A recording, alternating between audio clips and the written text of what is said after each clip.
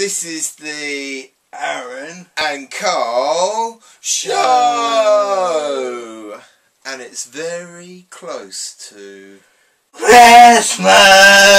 oh, and of course at Christmas! people like to use. Crackers. There we go.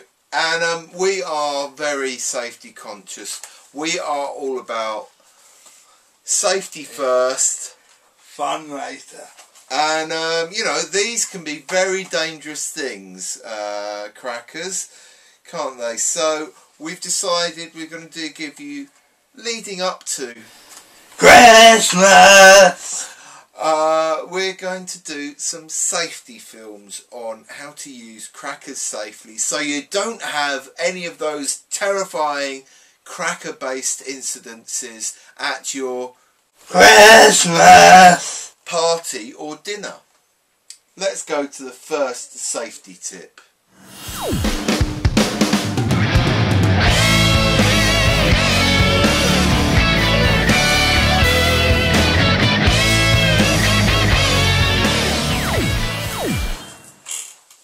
Ah. So, here we are, and we've got all the correct safety gear for using a cracker. Yep. First of all, we have A hard hat. Why have you got the hard hat, Arran? Just in case anything falls on your head. Exactly. You one of the prizes could come flying out and no injuries. Yeah. What else have we got, Arran? We've got goggles. We've got the goggles, just in case when the banger explodes, we don't want any little bits of gunpowder going in our eyes. So you've got to keep safe. Yeah. We've got ear muffs. defenders. Yeah. What have we got them? To protect our ears from the bang. Exactly. That can be very dangerous. You don't want to be disorientated by by not being able to hear. You could spill the gravy out at your Christmas dinner or, you know, it's very important. Yeah.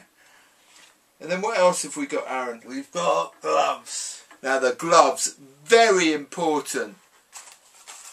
Paper cuts are terrible. They really hurt paper cuts, don't yes, they? they do. But we'll be super safe and not get any paper cuts on our fingers from the crackers. Yeah. Do you think we're about ready Yeah. to pull the cracker? Yes. Let's go for it. Okay. Right. Ready? Yeah. Remember, safety first, fun later. Yeah. Ugh.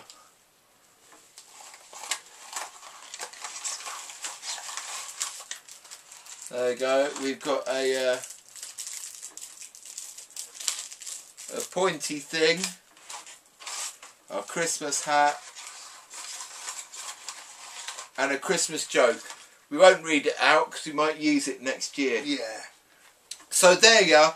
We managed to pull that and not get any injuries at all. Yeah.